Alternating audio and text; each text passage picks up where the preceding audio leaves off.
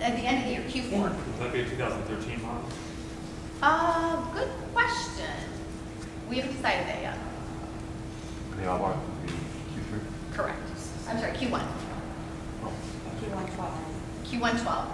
We should have put Q1, 2, 3, 4, yeah, there's four. yeah. Oh, yeah. I can see that. Awesome.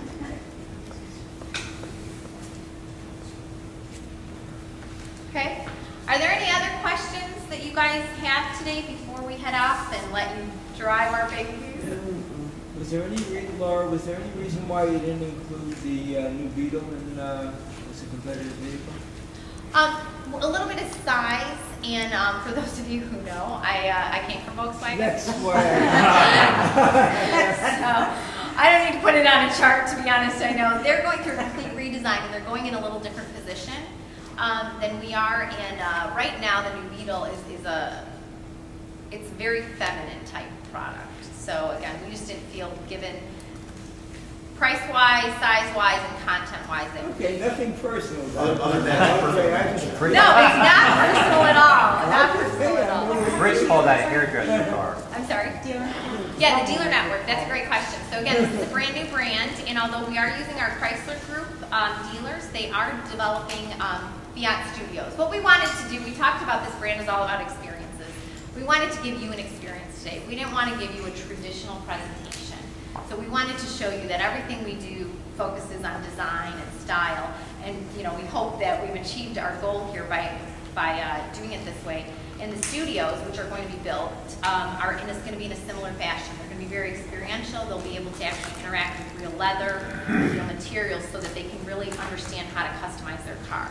But we are going to have 130 of those dealers throughout the United States mostly in major metro areas. I mean, there's some states that we have zero representation at all. And it was important for us to make sure that we put the dealers in place where there's an opportunity small car segment, and it's going to continue to grow. So they're currently under construction right now and uh, getting ready to open their doors. So the initial ones will be at traditional dealerships? No, They'll be taken delivery at traditional dealerships? no, their studios will be ready when we start delivering.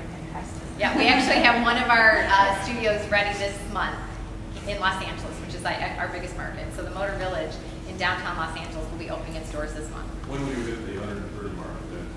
By the end of the year, actually by August, by August we'll be pretty close. I mean, there's a couple of them that are ground up, brand new facilities, um, but the majority of them are renovations. And a third of our dealers actually were able to pick up either empty Saturn or Hummer stores. So it's just a matter, yeah, there was a few of them around the country. Um, so they're just going through some renovation, which is a lot easier. Can you, can- can you expand on your target?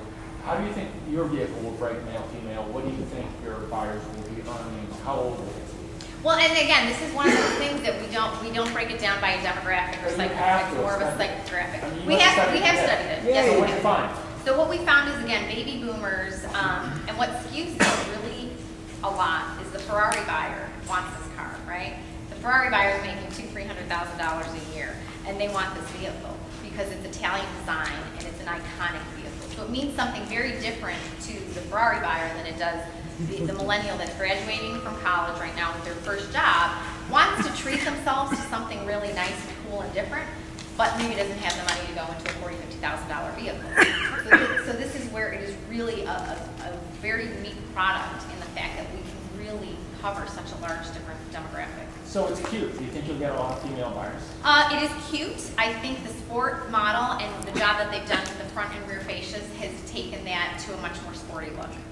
So we were just at Detroit Auto Show. You were there with me actually uh, last week.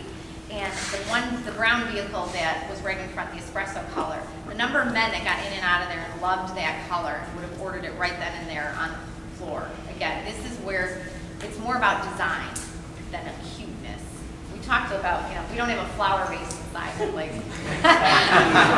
Oh, what vehicle are you Don't. talking about? Hi. Since you're also bringing Alfa Romeo back, was there already discussion of simply selling this as Alfa? And how much are you investing to get this brand launched? Is it going to be more or less than Scion or some other brand with their brand? Um, it was never discussed to bring this as an Alfa Romeo. This is truly a Fiat 500. It could only be a Fiat 500. This is a global icon, so we needed to keep true to that icon. um, and we would not rebadge it. We have, uh, again, there's a lot of sharing going on between Fiat and Chrysler, but the interest is to keep Fiat very intact to its heritage and not rebadge the products. What's the investment in bringing the brand over? We don't discuss you've got it. financials. You got it in there. Very efficient. Very efficient, there you go. Give me a call. Marty, Well, Marty, what did you push fund to put into it?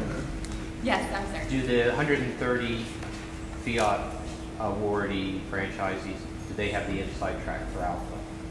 Uh, the markets, they line up perfectly. So again, the opportunities where we have placed our network for Fiat is a perfect opportunity for the Alfa Romeo brand when it uh, arrives. So yes, they have an opportunity to also carry the Alfa brand. Give me volume projections. Uh, for the Fiat 500, yes, we have 50,000 units for North America this year. Fifty thousand? Yes. For North America. For North America, correct. All from Toluca. All from Toluca, correct. You want to break that down for Canada versus US? I didn't ask. All right, I know we're, So, we're yeah. about 15 minutes behind.